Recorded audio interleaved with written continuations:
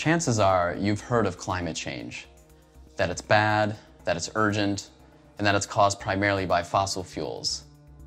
What you might not know is just how long scientists and even the fossil fuel industry have understood the fundamentals of the problem. In other words, how much time has been wasted. Now, the purpose of this talk isn't to depress you, it's to empower you.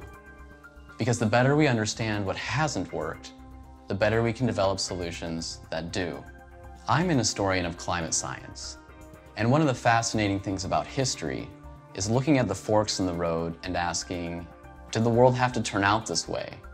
How could things have been different? And how could we make things different now? Today, these questions are more important than ever as the climate changes beyond anything humans have ever seen before our very eyes. And my hope is to convince you that things did not have to turn out this way, that our present is the result of intentional choices made over decades past, and that if we understand what's happened, we can take a different path today, and the world can have a better future. Four years ago, I visited Delaware, where the famous DuPont family lived.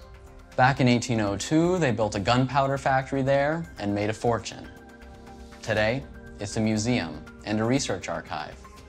And I was there to search for documents that might reveal what the oil industry knew about climate change and when. On my last day, I pulled a book off the shelf. It was a transcript of a conference held by the American Petroleum Institute in 1959. Now, the American Petroleum Institute is the main organization for the oil and gas industry in the United States. But 1959 seemed way too early for anything about climate change, I thought. But I opened the book anyway, thinking I might as well. When I turned the pages, I was shocked. I saw a speech by the famous physicist Edward Teller, the one who'd helped develop the hydrogen bomb.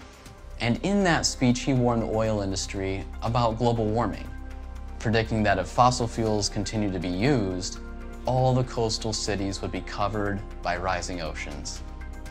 He even calculated how much carbon dioxide we'd have in the air by the year 2000. And he was almost exactly right. His bottom line message, fossil fuels would have to be replaced.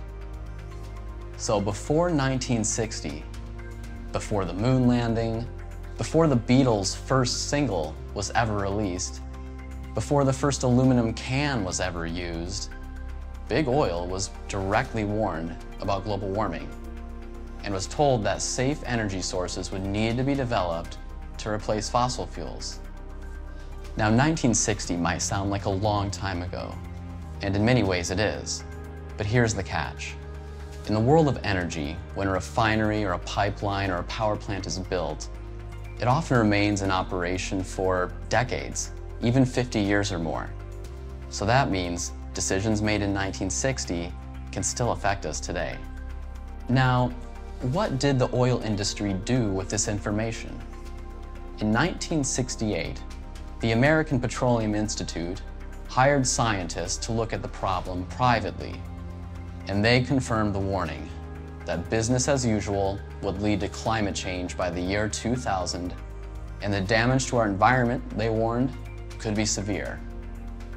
Despite this awareness, companies like Exxon, Chevron, and Shell continued to expand their fossil fuel production. Perhaps that's understandable. These are oil companies after all. But that's not all they did. The American Petroleum Institute lobbied Congress not to fund electric car development, saying falsely that the pollution from gas cars would be solved. The industry also sent educational materials to school kids about petroleum and the environment, which were used in 80% of American schools by the 1960s, but which were silent about global warming. And by the end of the 1970s, both Exxon and the American Petroleum Institute had created secret research programs to study climate science and monitor what others were doing. The documents that describe these programs were discovered only recently, and what they contain might surprise you. One set of papers describes a meeting held by the American Petroleum Institute in 1980. Personnel from Exxon and the companies that later became Chevron and BP were there. And they'd invited a researcher from Stanford University to brief them about the state of climate science. At the end of the presentation, one of the researcher's slides said, one degree rise, 2005, barely noticeable. Two and a half degree rise, 2038. Major economic consequences, strong regional dependence.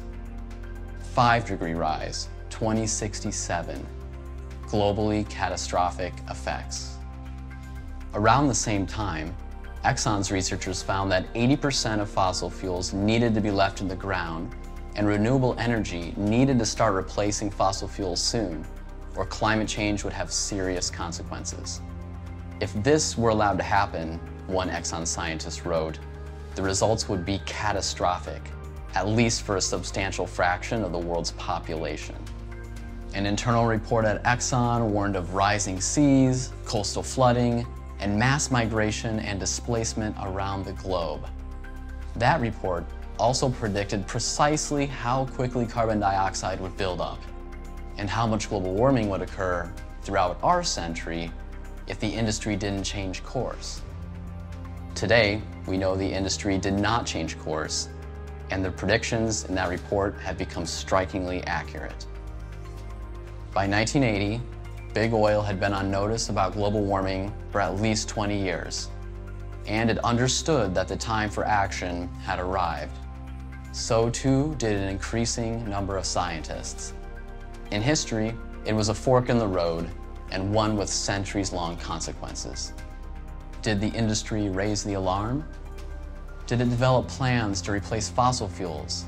Did it move towards renewables? We might at first laugh at the idea of oil companies taking the lead to protect the world from global warming, but these were all options the industry knew that its own products were causing the problem and that the fate of the world hung in the balance. Around the same time, oil companies were warned that climate change could have globally catastrophic effects, they began speaking in public about the issue. But instead of raising the alarm, big oil hit snooze, enacting a campaign of distraction and delay. In 1980, the American Petroleum Institute published a book called Two Energy Futures, which pushed for a huge expansion of fossil fuel production across the nation for decades to come. To reassure the public about global warming, the industry said scientists were split on the issue, which was false. And it pointed to a study from MIT that claimed worldwide coal use could be tripled without harming human health or the environment. The catch? The fossil fuel industry had funded and even carried out much of that project itself, something the American Petroleum Institute didn't tell the public.